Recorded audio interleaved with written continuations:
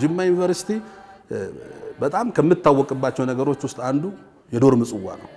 ለማህበረ ቅዱሳን መመስረት ወሳኝ የነበረውን ምዕራፍ የተጫወቱ ወንድሞች የወጡት ከዛ ግቢ ጉባኤ ነው። እንግዲህ ማህበረ ቅዱሳን ያው ግቢ ጉባኤን በማስተማሩ ብዙ ጥቅሞችን አስገኝተዋል። ስለዚህ ማህበረ ቅዱሳን በጎ ወጣቶችን በማፍራት ረገድ ባለፉት መቶ ዓመታት ያልታየውን ትልቅ ስራ ሰርቶ በጎ ወጣቶችን በዩኒቨርሲቲ አፍርቶ ለሀገር አበርክቷል።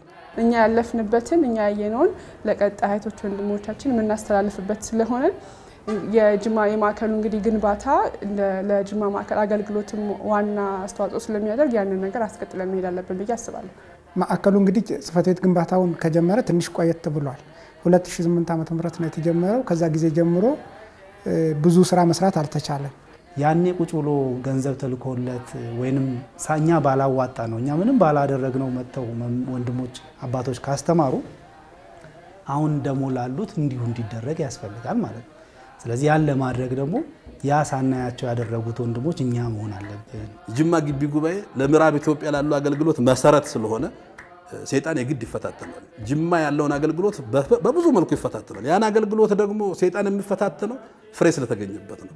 በስጋ የወለዱን ወላጆች ቤት ቢፈርስ ወይም ጀምሮ የሆነ ነገር ቢቀር እንደ ልጅነታችን አንቆጭም እንዴ የሚል ነው። በቅዱስ ሲኖዶስ ከተሰጡት ኃላፊነቶች መካከል አንዱና ዋነኛው በከፍተኛ ትምህርት ተቋማት የሚማሩ ኦርቶዶክሳውያን ተማሪዎችን ከአስኳላ ትምህርት በተጨማሪ ሃይማኖታዊ ትምህርትን በማስተማር ተተኪ ትውልድን ማፍራት ነው።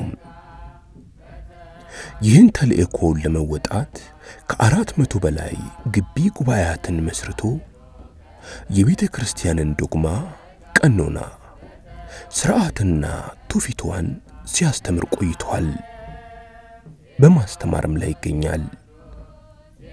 ማኅበሩ በዚህ አገልግሎቱ ሺዎችን ከአጽራረ ቤተ ክርስቲያንና ከዓለም ጠብቋታል። በምግባር አንጾ ለቀጣይ ሕይወታቸው መሠረትን ጥሏል። ለተማሪዎች ቤተሰብም የልብ ማረፊያ ሆኗል። በርካቶችን አስተምሮ ለቁም ነገርም አብቅቷል። እንግዲህ እንደምታወቀው ማህበረ ቅዱሳን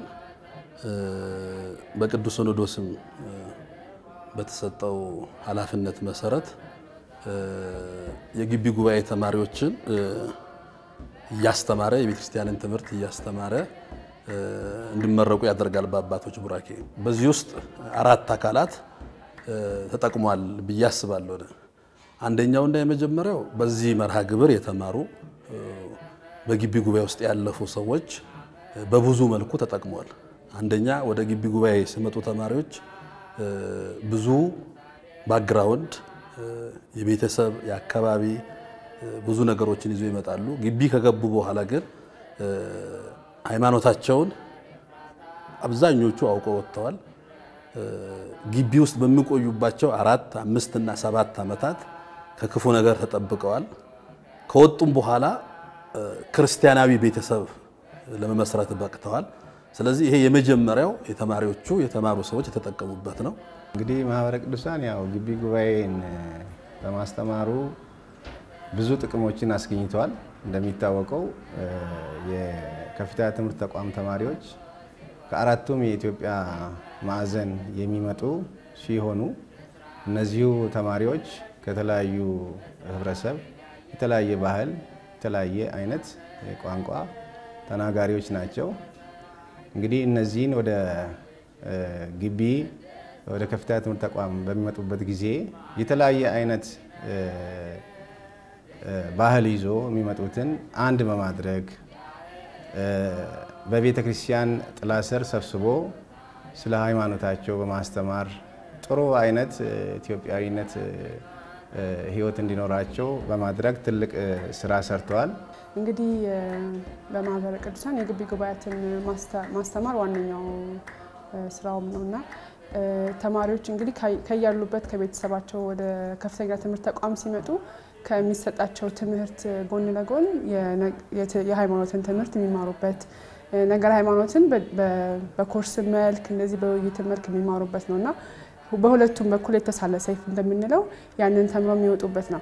ከነገረ ሃይማኖትን በተጨማሪ ደግሞ እህቶች፣ ወንድሞች፣ ታላላቅ እህቶች፣ ወንድሞች ያሉበትም እንደመሆኑ የህይወትን ተሞክሮ የህይወትን መርሆችን የምንለምድበት መወያየትን፣ ቤተሰባዊ ህይወትን የምንማርበት ነው እና የአስኳላውንም ትምህርት ብቻም ሳይሆን ነገረ ሃይማኖትን ተምረን ጊዜያችንን አጠቃቀማችንን በአግባቡ እንዲሆን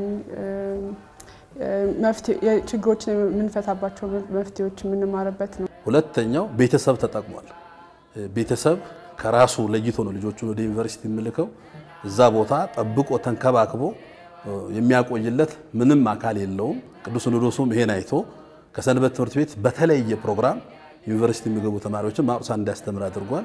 ስለዚህ ልጆች ሳይበላሹ ምግባራቸው እንደጸና፣ ሃይማኖታቸው እንደቀና እንደውም የተሻለ ሆነው ወደ ቤተሰቦቻቸው እንዲመለሱ ስለሆኑ ቤተሰብ ብዙ ልጆቹን ወደ ዩኒቨርሲቲ ልኮ ያለቅስ የነበረው ቤተሰብ ደስተኛ ሆኖ በደስታ ልጆቹን አስመርቆ የልጆቹን ፍሬ ለማየት በቅቷል። ትልቁ ጥቅም ማህበረ ቅዱሳን ተማሪዎቹን በማስተማር ያስገኘው ጥቅም ተማሪዎቹ በአርባ ቀንና በሰማንያ ቀን ያገኙትን የሥላሴ ልጅነት በተለያዩ አጽራረ ቤተክርስቲያን እንዳይነጠቁ የቤተክርስቲያናችንን ሃይማኖታዊ ትምህርትም ጎን ለጎን በማስተማር ትልቅ አስተዋጽኦ አድርገዋል። ሶስተኛው ቤተ ክርስቲያን ናት። ቤተ ክርስቲያን ክርስቶስ በምድር ላይ መሰረታት ዋናው ዓላማ በጎችን እንድትጠብቅ ነው፣ እንድታሰማራ ነው። ከዚህ ውስጥ ደግሞ በዚህ በሳይንሱ ዓለም የቆየው እንግዲህ የዩኒቨርሲቲ ተማሪ የሳይንስ ተጽዕኖ አለ፣ የፖለቲካ ተጽዕኖ አለ፣ የፍልስፍና ተጽዕኖ አለ። እነዚህ እየበዙ እየገነፈሉ ሲሄዱ ከመስመር ያስወጧቸዋል። ይሄን ደግሞ በሃይማኖት ሸፍኖ ሃይማኖትን እነዚህን ነገሮች በሃይማኖት ሸፍኖ አስማምቶ እንዲሄዱ አድርጓልና ማቁሳን ቤተ ክርስቲያን ከተማረው ትውልድ እንድትጠቀም ዛሬ ትውልዱ በጉልበቱ በገንዘቡ በእውቀቱ ቤተክርስቲያን እንዲያገለግል አድርጓል። አራተኛው ሀገር ነው። እንግዲህ ሀገር የሚመሰረተው ከቤተሰብ ጀምሮ ነው። ጥሩ ክርስቲያናዊ ቤተሰብ ካለ ሀገር ሰላም ይሆናል። ስለዚህ ማህበረ ቅዱሳን በጎ ወጣቶችን በማፍራት ረገድ ባለፉት መቶ ዓመታት ያልታየውን ትልቅ ስራ ሰርቶ በጎ ወጣቶችን በዩኒቨርሲቲ አፍርቶ ለሀገር አበርክቷል። ስለዚህ ሊመሰገን ሊሸለም የሚገባው ማህበር ስለሆነ ለእነዚህ አራት አካላት ተጠቃሚዎች ሆነዋል ብዬ አስባለሁ። ማኅበሩ ይህንና ሌሎች አገልግሎቱን መፈጸም ያስችለው ዘንድ በሀገር ውስጥ ብቻ 48 ማዕከላትን በማዋቀር ተልእኮውን እየተወጣ ሲሆን ከነዚህም አንዱ ደግሞ የጅማ ማዕከል ነው። በ1984 ዓመተ ምህረት የተመሠረተው ጅማ ማዕከል በማኅበረ ቅዱሳን የአመሰራረትና የእድገት ታሪክ ውስጥ ትልቅ ሚና ከነበራቸው ጥቂት ማዕከላት መካከል የሚጠቀስ ነው። የጅማ ማዕከል በአሁኑ አጠራሩ በቀድሞ አጠራሩ ጅማ ንዑስ ማዕከል ወይም ደግሞ በእኛ ጊዜ ጅማ ንዑስ ማዕከል እና ጅማ ግቢ ጉባኤ እንደ አንድ ያገለግል በነበረበት ወቅት ከግቢ ጉባኤውም ተማሪዎች በሃይማኖት ትምህርት ከማነጽ በስነ ምግባር ከማነጽ አንስተው ሀገራቸውን የሚወዱ ለሀገራቸውም ተቆርቋሪ ዜጎችን ከማፍራት አንጻር በጣም ከፍተኛ ስራዎችን መስራት የቻለ ግቢ ጉባኤ ነው። ምናልባት በብዙዎች ዘንድ ብዙ ማይታወቀው ምናልባት ጅማ ግቢ ጉባኤ በእኛ ትውልድ በነበረን ብቻ የሚታወቀው ደግሞ ለማህበረ ቅዱሳን መመስረት ወሳኝ የነበረውን ምዕራፍ የተጫወቱ ወንድሞች የወጡት ከዛ ግቢ ጉባኤ ነው። እንደምታውቁት ሁላችሁም በደርግ ውድቀት መጨረሻ አካባቢ ተማሪዎች ብላቴ ዘምተው በነበሩበት ጊዜ ከሁሉም በጊዜው ከነበሩት ከፍተኛ ትምህርት ተቋማት ተማሪዎች ብላቴ ሄደው ነበረ። እዛ ማህበረ ሚካኤልን መስርተው ነበረ። ደርቅ ውድቀት በኋላ እግዚአብሔር ፈቅዶላቸው መሰብሰብ ቢችሉ እንዴት ሆነ እንሰበሰባለን ብለው ሲያስቡ ማነው አስበው ነበር የተበተኑት የነበረው። በኋላ ያ እንደ ብጻትም እንደ ስዕለትም ነበር የነበረው። እግዚአብሔር በሰላም ከቤተሰቦቻችን ቢቀላቅለን እንደገናም ወደ ትምህርት ገበታችን መልሶን ሰው ቢያደርገን እግዚአብሔርን ልናገለግል ብጻት እንገባለን ብለው የወሰኑበት ነበረ ብላቴ እያሉና ያን ብጻታቸውን አስታውሰው ማህበረ ቅዱሳን እንዲመሰረት መሰረት የጣሉት ልጆች ከዛ ግቢ ጉባኤ የወጡ ልጆች ናቸው እና ጅማ ማዕከል አሁን ባለው ደረጃ የሚታሰብ ማዕከል አይደለም። ወይም ጅማ በተለይ ዋናው ግቢ ጉባኤ አሁን ባለበት ደረጃ የሚታሰብ አይደለም። እጅግ እጅግ ትልቅ ባለውለታ ግቢ ጉባኤ ነው። ጅማ ዩኒቨርሲቲ በጣም ከምታወቅባቸው ነገሮች ውስጥ አንዱ የዶርም ጽዋ ነው። በ1996 ዓመተ ምህረት 120 የዶርም ጽዋ ነበረ ጅማ ዩኒቨርሲቲ ግቢ ላይ 120 አስታውሳለሁ። ዶክተር ናዋይ ተመርቆ ከሄዱ ወንድሞች መካከል መጥቶ 120 የዶርም ጽዋ ግቢ ውስጥ ይደረጋል። 119ኙ ግቢ ውስጥ ነው የሚደረገው። 120ኛው በኦሮምኛ ቋንቋ የሚደረግ የስላሴ ጽዋ ጦፎ ስላሴ ተብሎ አሁን ድረስ አለ። ኪዳነ ምሕረት እንዲደረግ የኦሮምኛ ቋንቋ ተማሪዎች በሙሉ እንዲማሩበት። በነገራችን የኦሮምኛን ቋንቋ አገልግሎት በሰፊው ተጀምሮ ዛሬ እንዲበቃ ያደረገው የጅማ ዩኒቨርሲቲ ግቢ ጉባኤና ጅማ ማዕከል ነው።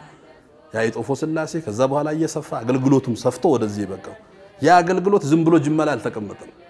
ምዕራብ ኢትዮጵያን በሙሉ አዳርሷል። የጅማ ግቢ ጉባኤ ወይም የጅማ ንዑስ ማዕከል በነገራችን ላይ ንዑስ ማዕከል የሚባለውም ስም አይታወቅም ነበረ። እዛ እያለን ጅማ ማዕከል ወይም ጅማ ግቢ ጉባኤ ነበር የሚታወቅ የነበረው እና የእኛ ታላላቅ ወንድሞች የነበሩት ልጆች የግቢ ጉባኤውም ሰብሳቢዎች ሆነው የግቢ ጉባኤ መምህራን ሆነው በዙሪያ ያሉትን የከተማውን አጥቢያ ቤተክርስቲያናት ሰርክ ጉባኤዎችን እየሸፈኑ የሰንበት ትምህርት ቤት ጉባኤዎችን እያስተማሩ ከዛ አልፈው የምዕራብ ኢትዮጵያን ከወልቂጤ እስከ ጋምቤላ ከወልቂጤ እስከ መቱ እስከ ሚዛን እስከ ቴፒ ያለውን አገልግሎት የጅማ ግቢ ጉባኤና የጅማ ንዑስ ማዕከል በጋራ ነው ሲያገለግሉ የነበረው። ይሄ የማይረሳ ዛሬ ድረስ የትኛውም የምዕራብ ኢትዮጵያ ከወልቂጤ ጀምረህ እዚህ ሶኮሩን፣ አሰንዳቦ ዞኗን ብትወስዳት እነ ዴዶን እነ አጋሮን እነዚህን ስትወስድ ቢያንስ በሁለት ሳምንት አንድ ጊዜ ግቢ ጉባኤና ማዕከሉ ሐዋርያዊ ጉዞ ያደርጋል። በልዩ ፕሮግራሞች መቱ፣ በልዩ ፕሮግራም ጋምቤላ፣ በልዩ ፕሮግራም በደሌ፣ በልዩ ፕሮግራም ቴፒ፣ ሚዛን የጅማ ዩኒቨርሲቲ ግቢ ጉባኤ ተማሪዎችና የጅማ ዩኒቨርሲቲ የጅማ ንዑስ ማዕከል አገልግሎት ይፈጽማሉ። የማዕከላት ቁጥር እንደ ዛሬው ባልበዛበት ወቅት ሐዋርያዊ አገልግሎቱን በምዕራቡ የሀገራችን ክፍል በከፋ፣ በሚዛን፣ መቱና ጋምቤላ ድረስ ሲያስፋፋ ቆይቷል። ዛሬም ትምህርተ ወንጌልን በማስፋፋት የከፍተኛ ትምህርት ተቋማት ተማሪዎችን በማስተማርና በሃይማኖት በመጠበቅ ገዳማትና አድባራትን በማጠናከር እንዲሁም የአብነት ትምህርት ቤቶችን በመደገፍ ለቤተ ክርስቲያኗ ሐዋርያዊ አገልግሎት የራሱን አስተዋጽኦ እያበረከተ ይገኛል። ሐዋርያዊ ጉዞ አንድ ማስታውሰውን ልናገር። በዚህ ሐዋርያዊ ጉዞ ውስጥ ሐዋርያዊ ጉዞ ብዙ ቦታ ስናደርግ አንዱ ግልገል ጊቤ ሁለት ይባላል hydro power ግልገል ጊቤ ሁለት hydro power አይተ ከሆነ ይመጣና የም ፎፋ ፎፋ የሶስት ቀን ጉባኤ ነው። መምህር ለማ አሉ መደበኛ መምህር፣ እኔ ነበርኩኝ። ከዛ አባ ገብረ ስላሴ መድኃኔ ዓለም አሁን እዚህ አዲስ አበባ አንድ ደብረ አለቃ ናቸው። ሶስት ሆነን ነው የሄድነው። ቅዳሜ ማታ የፎፋን ህዝብ ስናገለግል ቆይተን ማታ ምሽቱ ሶስት ሰዓት ጉባኤ ካለቀ በኋላ ግቤ ሁለት ያኔ ግንባታ ላይ ነበር። እዛ ላሉት አገልግሎት ለመስጠት ይኬዳል። 98 percent ኡ ከመደምራኑ ውጪ ዘማሪያኑ በሙሉ የግቢ ጉባኤ ተማሪዎች ናቸው።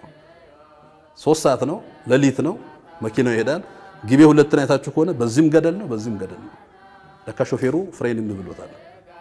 ሌሊት በምትደረግ ጉዞ ማንም ሰው ሁሉም ተኝቷል፣ አገልግሎት ደክሞት ግቤ ደረስ። እንዴት አድርጎ እንደደረሰ እሱ እምቢ ብሎኛል የምለው። እያለቀሰ ነው ስነዳ የነበረው። መዝሙር ይዘምራሉ ተኝተው፣ እሱ ያለቅሳል። ለካ እሱ መኪና እምቢ ብሎት ነው። ታች ከደረሰ በኋላ አገልግሎቱን ፈጽመን እሁድ ጠዋት ተመልሰን ፎፋ ከገባን በኋላ ነው ይሄን ታሪክ የምናገረው። የሆነ ሁሉ በእግዚአብሔር ነው ጅማ ማዕከል ከአራት መቶ በላይ አባላትን በመያዝ 11 ወረዳ ማዕከላት፣ 8 ግቢ ጉባኤያትና 12 ግንኙነት ጣቢያዎችን በስሩ በማዋቀር መንፈሳዊ አገልግሎቱን እየሰጠ ሲሆን በእነዚህ ግቢ ጉባኤያትም ከ12 ሺህ በላይ ተማሪዎች ትምህርተ ሃይማኖት እንዲማሩ በማድረግ ከተኩላዎችና ከዓለም ፈተና እየታደገ ይገኛል። ነገር ግን ማዕከሉ ይህንን ሁሉ አገልግሎት ሲፈጽም የቆየው የራሱ የሆነ ቢሮ የሌለው በመሆኑ የግለሰብ ቤትና የኪራይ ቤትን በመጠቀም ነው። አገልግሎቱ እየሰፋ በመምጣቱ የራሱ የሆነ ጽሕፈት ቤት ግንባታ ግዴታ ከሆነ ጊዜያት ተቆጥረዋል።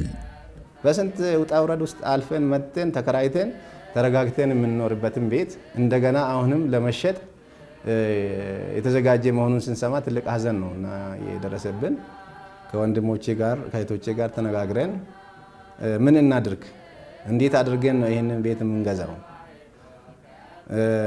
ለመነሻነት የሚሸጥበትን ሀሳብ ነግሮኝ ነበር እና ያንን ገንዘብ እንኳንስ በእኛ አቅም ከየትም አናመጣም የሚል ተስፋ አስቆራኝ ነበር በውስጣችን እና ተነጋግረን ከወንድሞችና እህቶች ጋር እንግዲህ የእግዚአብሔር ፈቃድ ከሆነ ይሄ ቤት ለእግዚአብሔር ቤት አገልግሎትነት የሚውል እግዚአብሔር የሚፈቅድ ከሆነ እንገዛለን የሚል ውሳኔ ላይ ደረስን። ከዛ በኋላ ነው እንግዲህ ውሳኔያችንን ለጋሽ አብርሃም አሳውቀን የሚሸጡበትን ተደራድረን ተደራድረን እሳቸውም ከቤተ ክርስቲያን ልጅነታቸው የእናቴ አባቴ አጽም ይወቅሰኛል፣ ለሌላ አሳልፌ አልሰጥም፣ ይህ ቤተ ክርስቲያን አገልግሎት የሚያስቀጥል ቦታ ነው፣ ስለዚህ ለእኔም በረከት ይሆነኛል፣ የአባቴም የእናቴም በረከት ይደርሰኛል በማለት ከተጠየቀው ዋጋ በታች ግማሽ ላይ ወስኖ ያንን ቦታ እንድንገዛ ዋጋውን ቆርጦ ነገሩን። ከዛ በኋላ እንግዲህ ያ የተቆረጠ ዋጋም አነስተኛ የሚባል አልነበረም፣ በወቅቱ ካለን አቅም አንጻር ማለት ነው። በኪራይ ቤት ሆኖ አገልግሎቱን መፈጸም ወዲህ ወጪውን ለመሸፈን መቸገር፣ ወዲያ ደግሞ አካባቢው አጽራረ ቤተ ክርስቲያን የሚበዙበት በመሆኑ አገልግሎቱን በነፃነት ማካሄድ አስቸጋሪ እየሆነበት መጥቷል። በዚህም ምክንያት ማዕከሉ የራሱ የአገልግሎት ሕንፃ ይኖረው ዘንድ በ2003 ዓመተ ምህረት ከጅማ ዩኒቨርሲቲ ፊት ለፊት 320 ካሬ ሜትር በ450 ሺህ ብር በመግዛት የቦታ ባለቤት ለመሆን በቅቷል። እግዚአብሔር ፈቅዶ እንግዲህ ምንድን ነው ያደረግነው? ከጅማ ማዕከል ካሉን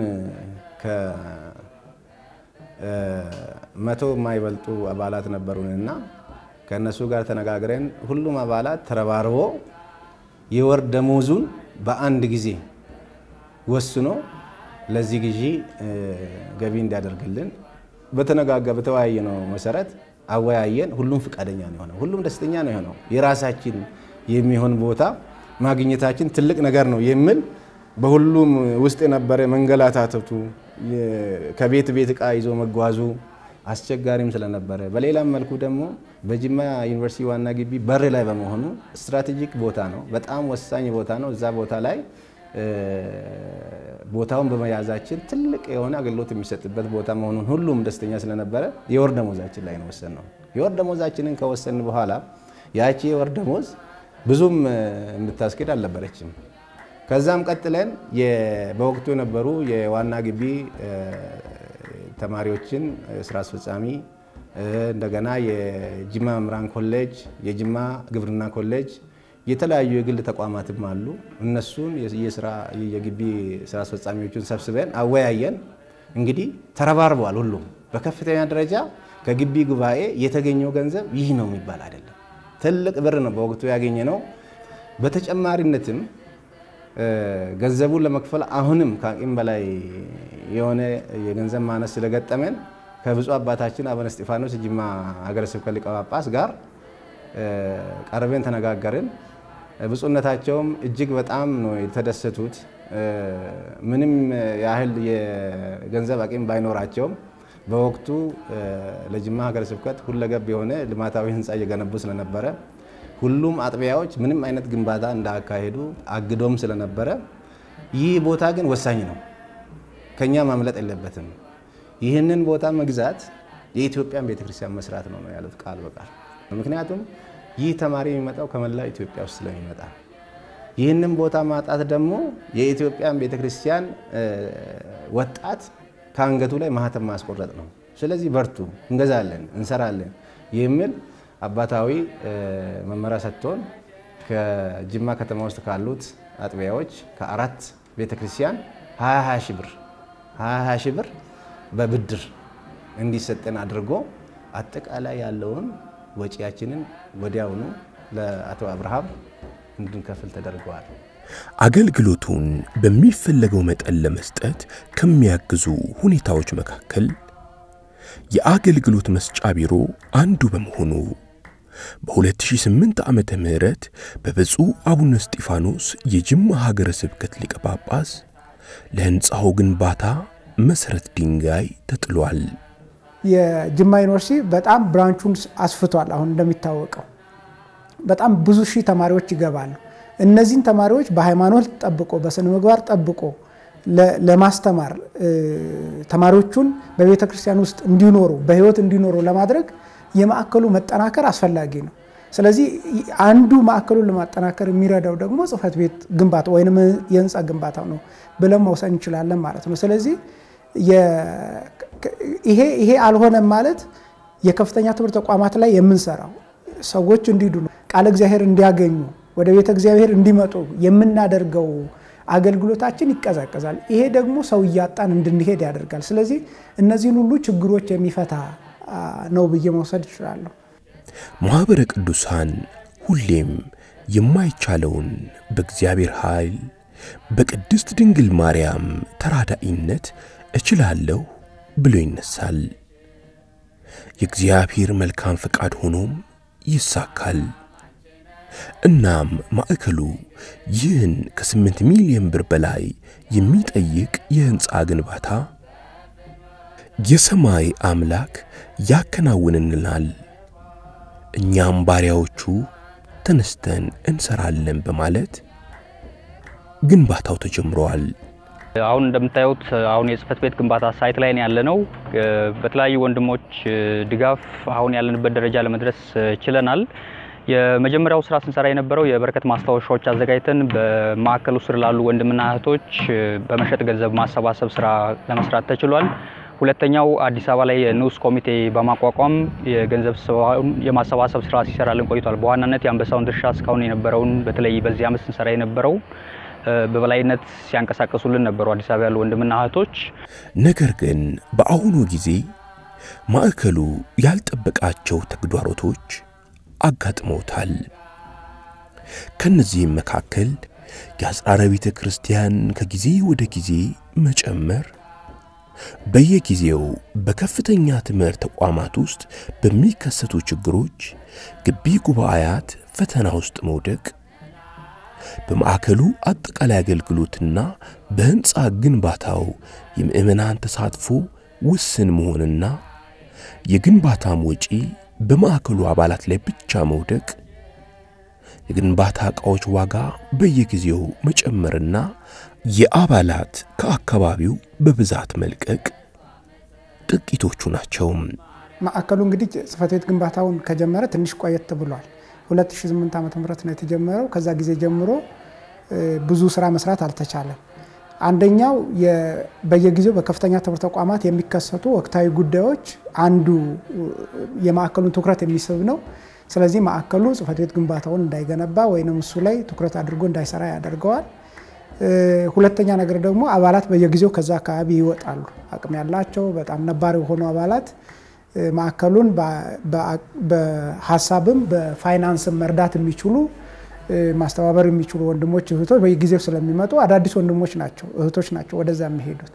ስለዚህ ይሄ የስራውን እንዲጓተት አድርጓል ማለት ነው። ከዛ በተረፈ እንግዲህ አጠቃላይ አባላቱ ላይ ያለው የኑሮ ጫና አባላቱ ገንዘባቸውን አዋጥተው ጽሕፈት ቤት ግንባታውን ለመገንባት እንዲቸገሩ አድርጓቸዋል። እንዲሁም ደግሞ አጠቃላይ አሁን አገሪቱ ላይ የሚከሰቱ ችግሮች የራሱ ተጽዕኖ አለው እና በእነዚህ ምክንያቶች ጽሕፈት ቤት ግንባታውን መገንባት ገንብቶ መጨረስ አልቻለም። ሌላ እንደ ምክንያት ሊጠቀስ የሚችለው እንግዲህ የቁሳቁስ ዋጋ ንረት በየጊዜው ይጨምራል። ስለዚህ ማዕከሉ የተወሰነ ገንዘብ ሲሰበስብ ከዛ በላይ የሆነ የዋጋ ንረት ስለሚመጣ ነገሮችን በሚፈለገው መጠን ማስኬድ ባለመቻሉ ግንባታው ተጓቷል። በዚህ ዓመት ማዕከሉን ሶስት አበይት ተግዳሮቶች ገጥመውታል። አንደኛው የግቢ ጉባኤ አገልግሎታችን በተለያዩ መንገዶች ሲፈተንብን የቆየው አንደኛው ከወቅታዊ የፖለቲካ ትኩሳት አንጻር የትምህርት የመማር ማስተማር ሂደቱ በመቋረጡ ምክንያት ለተወሰኑ ወራቶች ተቋርጦብን ቆይቷል። ዳግመኛ ደግሞ አሁን ዓለም አቀፍ ችግር በሆነው በኮቪድ-19 ምክንያት እንደዚሁ ተቋርጦ ይገኛል።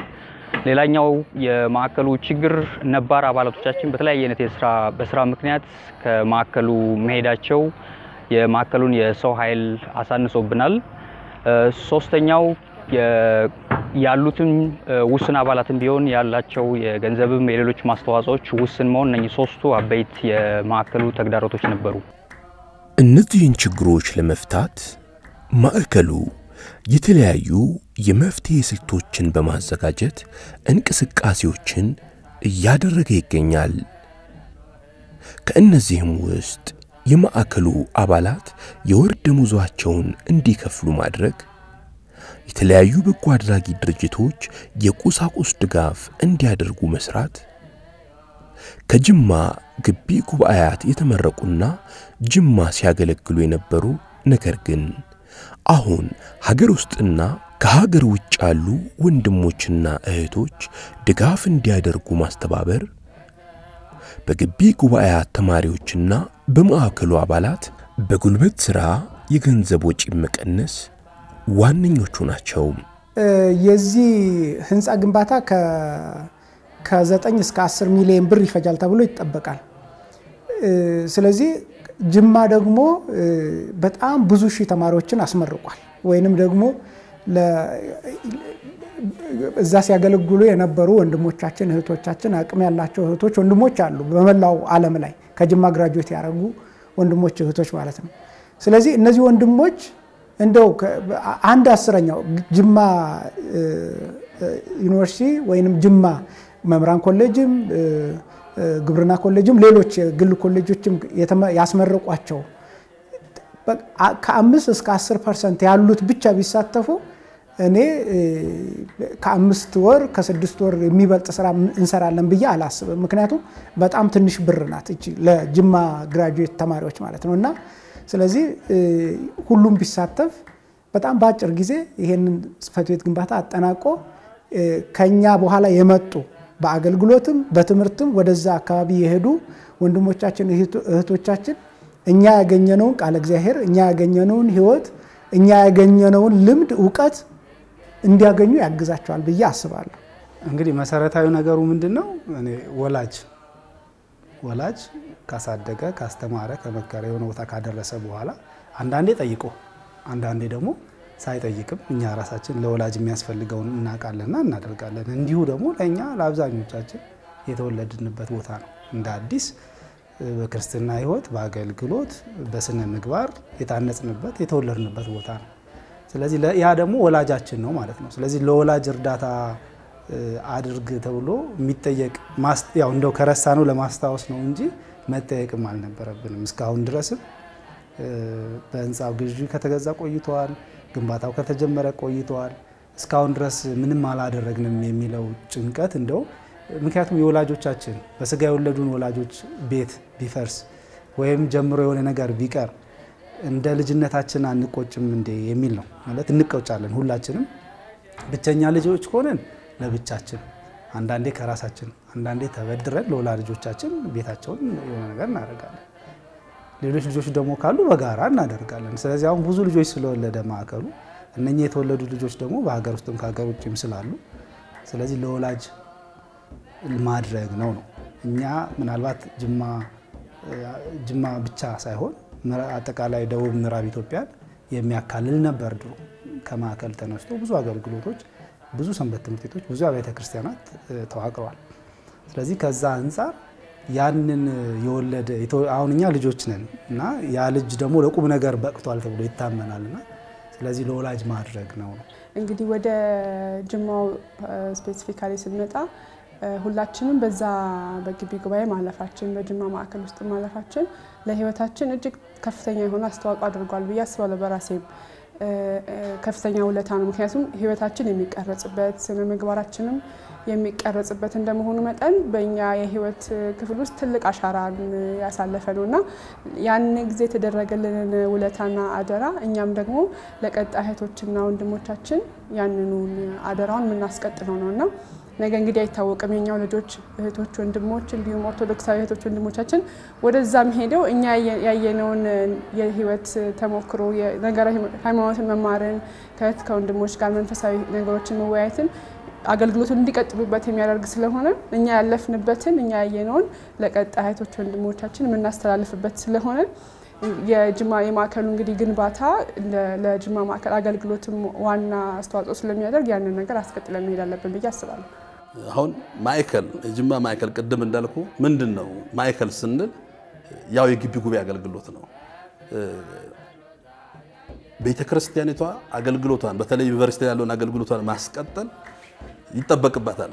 ለዚህ አገልግሎት መሳካት የመጀመሪያውን ኃላፊነት መውሰድ ያለበት እዛ ተምሮ የተመረቁ ወንድሞችና እህቶች ናቸው። ቅድም እንዳልኩ እነሱ ተጠቅሟል፣ ቤተሰቦቻቸው ተጠቅሟል፣ ቤተ ክርስቲያን ተጠቅማለች፣ ሀገር ተጠቅሟል። እኔ ጅማ እንዳልኩ አሁን ያለው ፈተና ስትመለከት ሆሳዕና አክብረው እዚህ ላይ ቀለበት ሰርቶ መግባት የማይችሉበት ግቢ ነው የሆነ ጅማ ዩኒቨርሲቲ ግቢ ጉባኤ።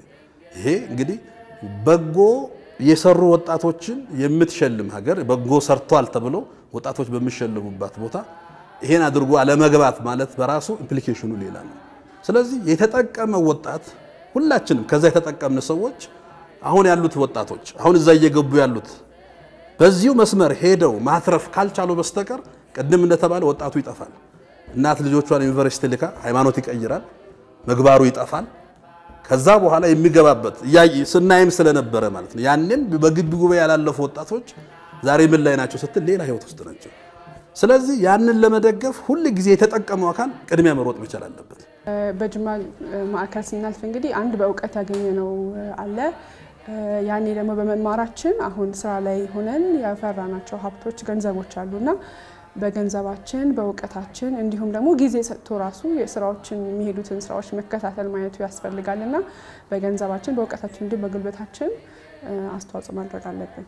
ሌላኛው ደግሞ ሄዶ ማጽናናት መጎብኘትም ያስፈልጋል። በየሆናል ጊዜ አንዳንድ ጊዜ ሙከራዎች አሉ፣ ግን ብቻ ወጥ በሆነ መልኩ የሚናፈቅ ወንድሞች እህቶች ሄደን የምንለው ምክንያቱም እነኛ አይነት ነገሮችን ቢኖሩ እዚህ ያለውም ለመሄድ ምክንያት ያገኛል፣ እዚያ ያለውም ደግሞ የሚናፍቀውን ከሌሎች የሚማረውን ያገኛል እና ያ አንደኛው ነገር ነው። ሌላው ደግሞ በገንዘብ ገንዘብ የሚያስፈልገው ደግሞ አለ። ምናልባት እኛ ተማሪዎች በነበርንበት ሰዓት ከዛም ከዚህም ደግሞ ከአዲስ አበባም ከተለያየ ቦታዎች ሊያስተምሩ ሊመክሩን የመጡ ወንድሞች እህቶች ነበሩ። ቢያንስ እነሱ የመጡበት ትራንስፖርት በሆነ ነገር መጥተዋል። ስለዚህ ትራንስፖርት ተከፍሎላቸዋል ማለት ነው። ያ ደግሞ የሆነ ሰው ከፍሏል እንጂ ዝም ብሎ ወይ ከራሳቸውም ቢሆን ተከፍሎላቸው መጥተዋል። ስለዚህ ያንን ደግሞ እኛ እዛ ቁጭ ብለን ናፍቀናቸው በየሴሚስተሩ አንዳንድ ጊዜ በአመት በመጡበት ሰዓት እነሱን አግኝተናቸዋል። ከእነሱ ብዙ ነገር ቀስመናል። በጣም ብዙ የህይወት ለውጥ አግኝተናል። ስለዚህ ያኔ ቁጭ ብሎ ገንዘብ ተልኮለት ወይንም እኛ ባላዋጣ ነው እኛ ምንም ባላደረግነው መጥተው ወንድሞች አባቶች ካስተማሩ አሁን ደግሞ ላሉት እንዲሁ እንዲደረግ ያስፈልጋል ማለት ነው። ስለዚህ ያን ለማድረግ ደግሞ ያ ሳናያቸው ያደረጉት ወንድሞች እኛ መሆን አለብን፣ እኛ እህቶች እኛ መሆን አለብን። ስለዚህ አሁን ቀድሞ የተመረቁ ለጅማ ብቻ ላይሆን ይችላል በየትኛውም ግቢ ጉባኤ ላሉ ወንድም እህቶች ስብከተ ወንጌል እንዲዳረስ የአባቶችን ትምህርት እንዲከታተል በምክር እንዲጸና ለማድረግ ገንዘብ ያስፈልጋል። ስለዚህ ያንን ገንዘብ ደግሞ እኛ ከራሳችን ካለን ነገር እንድናደርግ ይጠበቃል ብዬ አምናለሁ። ስለዚህ የጅማ ዩኒቨርሲቲ ግቢ ጉባኤ ተመራቂዎች አሁን ጅማ ዩኒቨርሲቲ ግቢ ጉባኤ እየተማሩ ያሉት እንዳልከው ጅማ የብዙ ወንድሞች መገኛ፣ ጅማ ግቢ ጉባኤ የማቅሳን ልደት የማቅሳን መወለጃ፣ የጅማ ግቢ ጉባኤ ለምዕራብ ኢትዮጵያ ላሉ አገልግሎት መሰረት ስለሆነ ሴጣን የግድ ይፈታተናል። ጅማ ያለውን አገልግሎት በብዙ መልኩ ይፈታተናል። ያን አገልግሎት ደግሞ ሴጣን የሚፈታተነው ፍሬ ስለተገኘበት ነው። ፍሬ የተገኘበት ግቢ ጉባኤ ነው። እኔ የተማርኩበት ግቢ ስለሆነ ሳይሆን በጣም ከኛ በፊትም የነበሩ እስከ ቅርብ ጊዜ ድረስ ያሉ ወንድሞች ብዙዎቹ ፍሬ ያፈሩበት ፍሬ የተገኘበት ግቢ ነው። ስለዚህ ማዕከሉ መደገፍ ራስን መደገፍ ግቢ ጉባኤን መደገፍ ነው። እዛ ቦታ ላይ የጅማን ማዕከል ብቻል ቅዱስ ሲኖዶሱ በእውነት ብቻል ጠቅላይ ቤተ ክህነቱ ከዋናው ማዕከል ጀምሮ የማቅሳን መዋቅሮች ሁሉም ውጭ ሀገርም የሚኖሩ ከዚህ ተምሮ የወጡ ብዙ ወንድሞቻችን አለ በተለያየ በውጭ ዓለም ያሉ እነሱም ጭምር እዚህ አይቀድም ያልኩ 120 ጽዋው አሁንም ብዙ ቦታም ጽዋዎች አሉ። የሚካኤል ጽዋ መጠጡ ወንድሞች አሉ፣ የኪዳነ ምሕረት አሉ፣ ወንዶችም ሴቶች ስለማውቃቸው አዲስ አበባ ብቻ አይደለም በየቦታው ያሉት ሁሉ አንድ ላይ ሆነው ጅማን ለአንድና ለመጨረሻ ጊዜ ጠንካራ መሰረት ያለው ግቢ ጉባኤ ማዕከል እንዲሆን የሚጠበቅብንን ማድረግ አለብን። እንግዲህ ጅማ ማዕከል ይሄንን ለማስተባበር አንደኛ አብይ ኮሚቴ እዛው ጅማ ማዕከል ላይ ተቋቁሟል። ሁለተኛ ነገር ደግሞ የዛ ብራንች የሆነ ወይም የዛ ንዑስ ኮሚቴ የሆነ እዚህ አዲስ አበባ ላይ ተቋቁሟል። ስለዚህ ሰዎች አዲስ አበባ ላይ ያሉ ወይንም ደግሞ ከጅማ ውጭ ያሉ ወንድሞች እህቶች በተለያዩ በምናስቀምጣቸው አድራሻዎች ኮሚኒኬት ማድረግ ይችላሉ፣ እኛም ማግኘት ይችላሉ። ሁለተኛ ነገር ደግሞ በቁሳቁስ ድጋፍ ማድረግ ይቻላል። ወንድሞቻችን የምናውቃቸውን ወንድሞች እህቶችን በማስተባበር በገንዘብ ድጋፍ ማድረግ እንችላለን። እንግዲህ ሁለቱም ቦታ ስለዚህ በአጠቃላይ መልኩ ስንመለከት ማዕከሉን በቀጥታ አግኝተን ድጋፍ ማድረግ እንችላለን። ሁለተኛ ነገር ደግሞ እዚህ የቋቋመው ኮሚቴ አለ፣ ማዕከሉ ያቋቋመው እሱ ኮሚቴ አግኝተን ድጋፋችን ማድረግ እንችላለን። እንግዲህ የድጋፍ አይነቶቹ ቅድም እንዳልኩት በገንዘባችን እናደርጋለን፣ በእውቀታችን እናደርጋለን። እንዲሁም ደግሞ በቁሳቁስ የሚችለው ሰው በቁሳቁስ ቁሳቁስ ገዝቶ ማዕከሉን ሰፖርት ማድረግ ወይም ድጋፍ ማድረግ ይችላል ማለት ነው። ይህ ባለ አራት ወለል ሕንፃ ግንባታ ሲጠናቀቅ ኦርቶዶክሳውያን ተማሪዎችን ከተለያዩ ስጋዊ ፈተና በመታደግ በምዕራብ ማዕከላት ማስተባበሪያ ጽሕፈት ቤት ስር የትምህርትና ስልጠና ማዕከል በመሆን እያደገ የመጣውን ዘርፈ ብዙ የአገልግሎት ተደራሽነት በማስፋት ትልቅ ሚና ይኖረዋል ተብሎ ይጠበቃል። አሁን ጅማን ስናስብ center ነው እንግዲህ በማህበረ ቅዱሳን መዋቅርም የምዕራብ ማስተባበሪያ ማዕከል ነው። ስለዚህ ምዕራብ ማስተባበሪያ ማዕከል ጅማ ላይ የሚሰራው እንደውም የጅማ ማዕከል የጅማ ግቢ ጉባኤ የተማሩ ብቻ ሳይሆን ሌሎቹም በአቅራቢያ ያሉ ሁላ እንዲያግዙ የሚጠበቅበት ነው መሆን ያለበት። ስለዚህ ጅማ ላይ የሚደረገው ስልጠና፣ ጅማ ላይ የሚደረገው ምክር፣ ጅማ ላይ የሚደረገው ትምህርት ለጅማ ብቻ ሳይሆን መጀመሪያ ለጅማ ቀጥሎ አጠቃላይ ላለው ምዕራብ ኢትዮጵያ ቀጥሎ ደግሞ ለኢትዮጵያም ከዛም ውጭ ላለው የሚደርስ ነው እና ከዛ አንጻር ማሰብ ነው። ተመራቂ ምክንያት እንዲሆን ነው ጥሪ እየተደረገ ያለው ብዬ አምናለሁ። ምክንያት እንዲሆን ነው እንጂ እሱ ምክንያት ሆኖ ምክንያቱም ለመስጠት የፈለጉ ሊያደርጉ የፈለጉ አባቶች፣ ወንድሞች፣ እናቶች ይኖራሉ። ስለዚህ ለእነኛ ምክንያት እንድንሆን ነው። ምናልባት ቴሌግራም ቻናል ላይ ከዚህ ሌላ ቦታ ላይ የምንነጋገረው ነው። አሁንም ስመጣ ቁጥሩ ስንት ነው የሚለውን ለማየት ሞክሬ ነበር። 4600 ምናምን አካባቢ ቁጥር ይታያል። ስለዚህ ትንሽ ሞልተን አምስት ሺህ ብናደርገውና በየወሩ መቶ ብር ብናዋጣ ወደ ቁጥር ያው ቁጥሩን ስለምወደው ነው ወደ መቶ ብናደርገው መቶ ብር ማለት እንግዲህ በየወሩ ብናደርግ ስንት ብር ማለት ነው? አምስት መቶ ሺህ ብር ይሆናል ማለት ነው። ስለዚህ እንደሰማነው ደግሞ ቢያንስ አንዱ floor አምስት መቶ ሺህ ይፈጃል ነው። ስለዚህ አራት floor ካለ የአራት ወር ስራ ነው። ብዙ አመት የቆየ ነው። ምናልባት የቆየ ነው እንደ ዳዊት ስላልተፈቀደልን ሊሆን ይችላል። ሰለሞን እስኪመጣ ድረስ ሊሆን ይችላል እና አሁን የመጡት ወንድሞች እህቶች ደግሞ እንደዛ የነሱ ዘመን ምናልባት በሆነ ሰዓት የነበሩት ወንድሞች ሞክረው እዛም የነበሩ ከአዲስ አበባም ከተለያየ ቦታ የነበሩት ወንድሞች እህቶች ሞክረው ስላልተፈቀደና ጊዜው ስላልደረሰ ሊሆን ይችላል ያልተሰራው።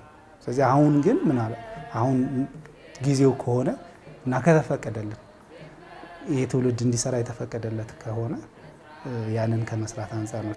ይህ ብዙዎችን ከሳተ መንገዳቸው መልሶ ስለ ሃይማኖታቸው እንዲያውቁ አውቀውም ወደ እውነተኛዋ መንገድ እንዲገቡ ያደረገ ያመኑትን እንዲጸኑ ጸንተውም ሌሎች አርያ የሆኑ ዘንድ ያስተማረና እናንተንም ለዚህ ያበቃ ማዕከል ዛሬ አገልግሎቱ ተዳክሟልና ኑ ሲል ይጣራል።